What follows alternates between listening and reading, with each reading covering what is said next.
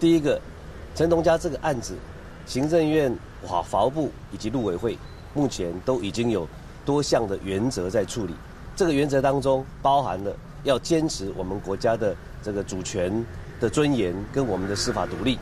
同时也兼顾到香港地地的政政府对这件案件是不是他能够实行他的管司法管辖权，以及台湾愿意来协助配合整个事实查明的真相。所以，这里我要必须提到的是，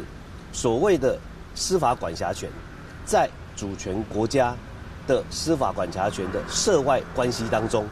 很清楚的，这必须是双边基于司法互助的协议行为，而不是任何一方单边主义的选择性办案。否则，我们现在还有很多滞留在其他地区、其他国家的对台湾经济伤害很大。或是重大的刑事案件，都不能够用引用双方的司法互助协议来请他们回来，或是来投案。